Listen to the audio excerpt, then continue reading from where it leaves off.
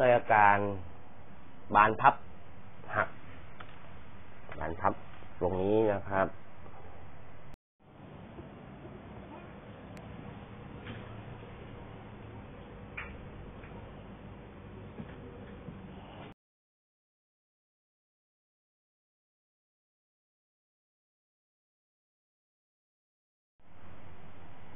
สวัสดีครับ เจอกันเช่นเคยกับผม ช่างพงสำหรับวันนี้มาซ่อมโน้ตบุ๊ก HP 14ของคุณใหม่ ด้วยอาการบานพับหัก บานพับตรงนี้ แตกขึ้นมาเลย ตอนโยกก็จะแตกแง้มขึ้นมาอย่างนี้ ฝั่งอีกด้านหนึ่งก็เป็นเหมือนกัน เรามีวิธีการซ่อมเราไปดูกันว่าวิธีการซ่อมทำยังไง เราซ่อมกันยังไง ทางร้านมีวิธีการซ่อมให้ดูด้วย ก่อนซ่อมและหลังการซ่อม ไปกันเลย